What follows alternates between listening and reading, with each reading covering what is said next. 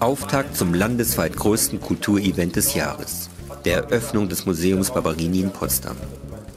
Der Stifter des Museums höchstpersönlich, der Software-Milliardär Hasso Plattner, stellte zusammen mit Direktorin Ortrud Westheider der Presse das Barberini vor. Den zahlreichen Medienvertretern erzählte der Kunstmäzen mit Stolz, dass das neue Kunsthaus bereits jetzt in der Kunstwelt einen großartigen Ruf genießt. Ein bisschen zeigt das auch, dass wir als, als Beginner äh, doch ganz viele renommierte Museen als Leihgeber bekommen haben und private Leihgeber äh, die uns das Vertrauen geschenkt haben. Auf die Frage zum Museumsstandort antwortete Plattner mit einer Liebeserklärung an Potsdam.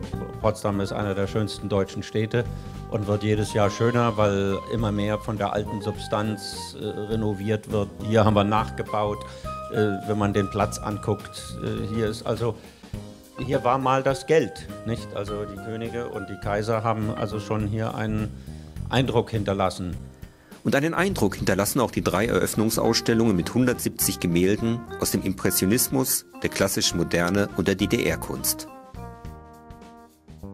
Ja, was mich hier sehr beeindruckt an der Ausstellung ist, ähm, sind so die menschlichen Dimensionen. Man kommt rein in einen Raum und fühlt sich aufgehoben.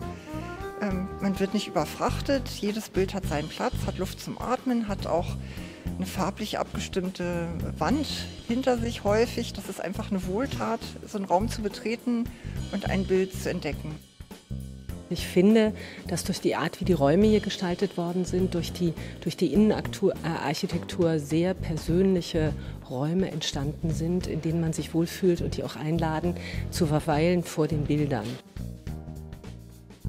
Noch nie so viele Monets auf einem Fleck gesehen. Ich glaube noch nicht mal im Pariser Museum Marmottan gibt es äh, so viele Monets. Und tatsächlich ist das ein Alleinstellungsmerkmal gegenüber Berlin. Ich bin sehr oft in Berliner Museen. Na, für Potsdam ist es natürlich besonders toll. Äh, Berlin hat ja viele, viele Museen und viele interessante Museen, aber Potsdam hat so etwas noch gefehlt. Und es ist natürlich auch für die äh, Touristen, die nach Potsdam kommen, nicht nur, dass Potsdam schon so eine tolle Stadt ist, sondern es wird sich in Zukunft zeigen, dass da noch viel mehr Touristen kommen, Interessierte, vor allem Kunstinteressierte und auch dieses Museum besuchen.